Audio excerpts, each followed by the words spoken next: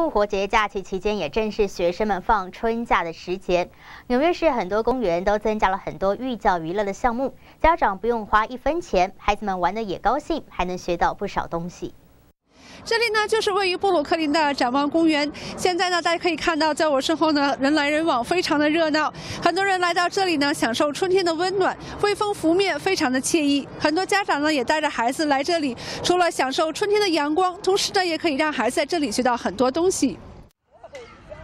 没有冬日的寒冷，夏天的酷热，现在正是户外活动的好时光。孩子们在这里玩的不亦乐乎，我也忍不住要试一下身手，真的很好玩。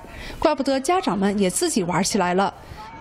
展望公园在春假期间也有不少寓教于乐的活动。Uh, we encourage kids to learn through play. So every weekend in April, we'll be doing a program called Spring Sprouts, where the kids can roll flower pots out of recycled newspaper and plant herb seeds to take home. 在纽约的湖泊和山野里生长着哪些动物呢？在这里可以看到乌龟、盘踞在石头窝里的蛇，还有大蜘蛛。 孩子们在观赏动物之余，也会学到环保的理念。We promote conservation and stewardship, in particular of birds, as an Audubon center.